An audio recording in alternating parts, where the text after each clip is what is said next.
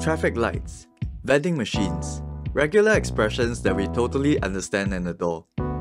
Do you know what these things in your daily life have in common? They are all powered by this one simple machine, the deterministic finite automaton. Despite it being illustrated with only a few circles and arrows, it has extremely powerful expressive power.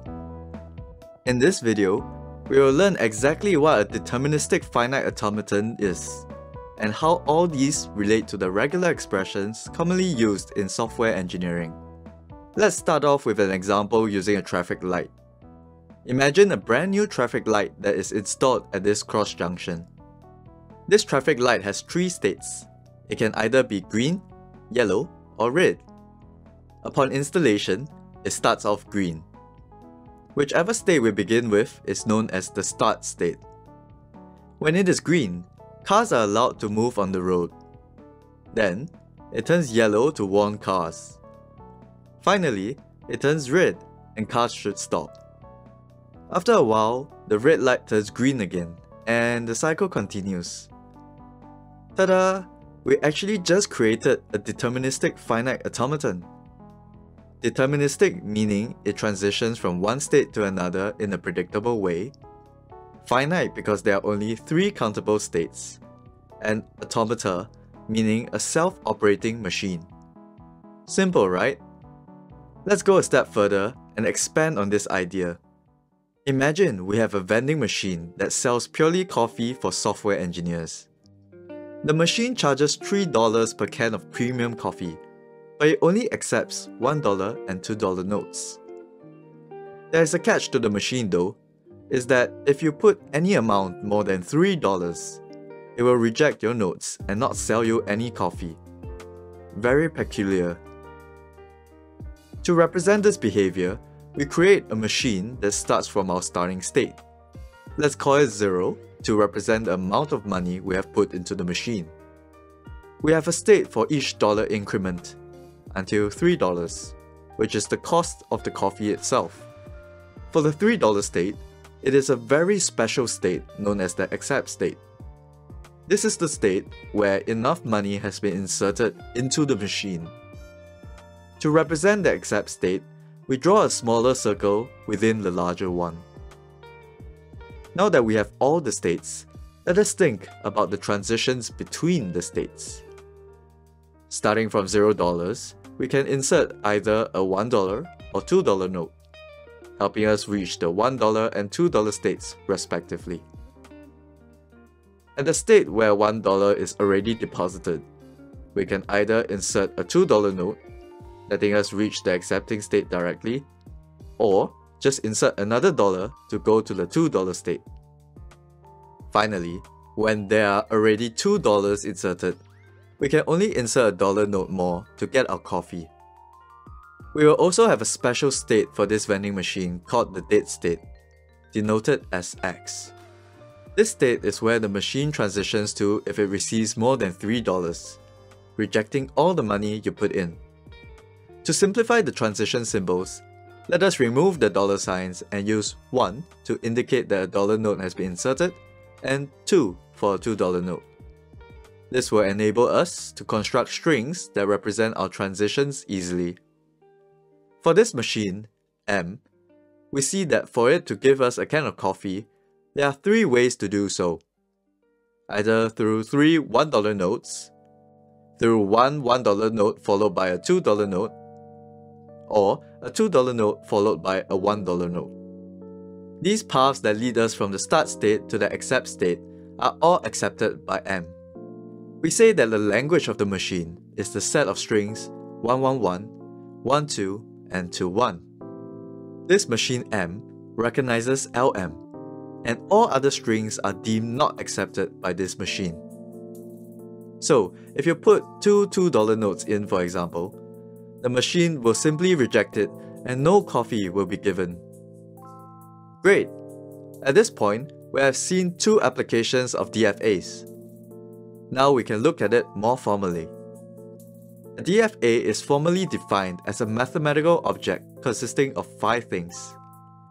A set of states, Q, an alphabet of input symbols, sigma, a state transition function, delta, a special start state, S, and a set of accepting states, F. Going back to the machine M, instead of calling the states in the vending machine 0, 1, 2, 3, and X, let us generalize it and call it Q0, Q1, Q2, and so on. This is Q, our set of states. The alphabet of input symbols are the type of notes the machine accepts, which we have simplified to be called 1 and 2. The transition function delta is slightly more involved. It explains what each state will transition to given the symbol it encounters. To illustrate this, we have a table with two columns, indicating the two symbols 1 and 2. And we have four rows representing all the states, with Q4 being the invalid state X. What we have to do next is to populate the table. So for Q0, if we see 1, we go to state Q1. If we see 2, we go to state Q2. Repeating the process, we will build an entire table of transitions.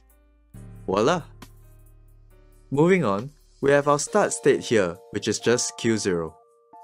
And finally, we have the set of accept states, which contains just Q3. Fantastic! At this point, we have seen real-life examples of DFAs and topped it off with a formal definition. Now you might ask, how do regular expressions relate to DFAs?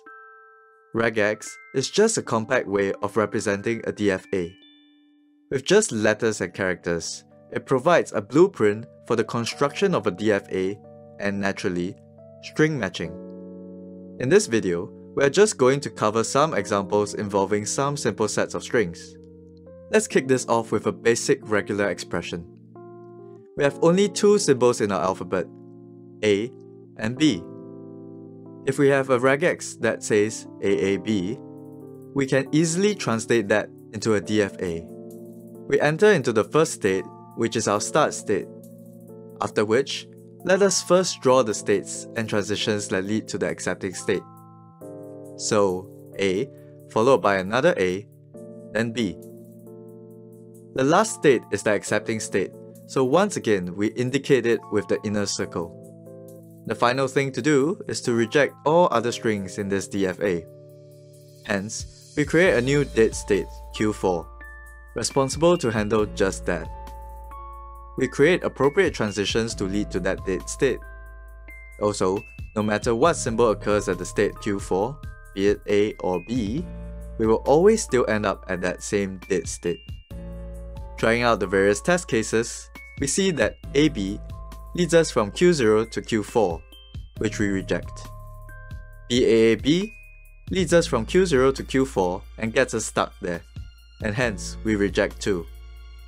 We see that only A, A, B gets us from Q0 to Q3, which is the accepting state, and hence the only string the machine accepts. There you have it, a regular expression to DFA. I would like to end off this video with one more interesting example involving the Kleene star operator. Imagine we have a regular expression A star B instead. What does the star even mean?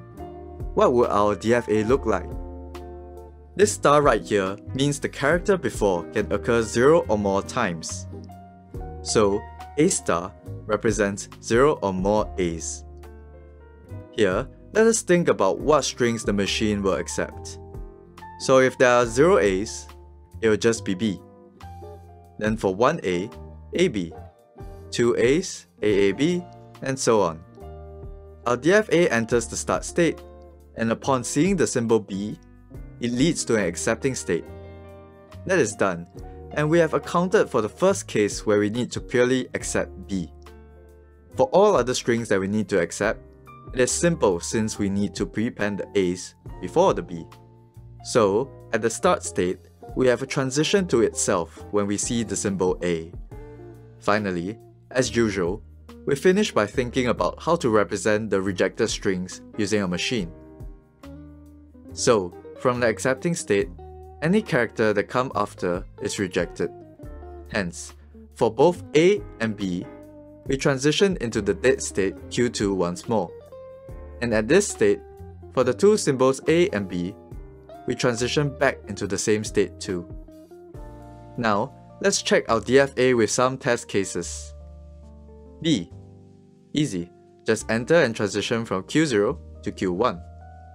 AB, AAB, AAAB, and so on leads us around Q0 for a bit, before moving to Q1, which is the accepting state.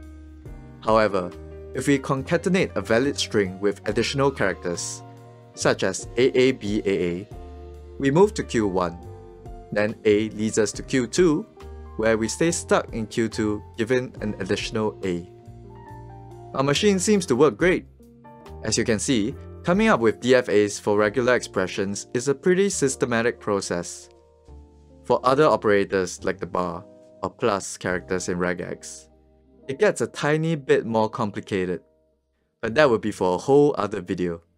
If you enjoy my content, please do subscribe and leave a like on the video. It really helps me serve you better by growing the channel. Thank you, and see you in the next one.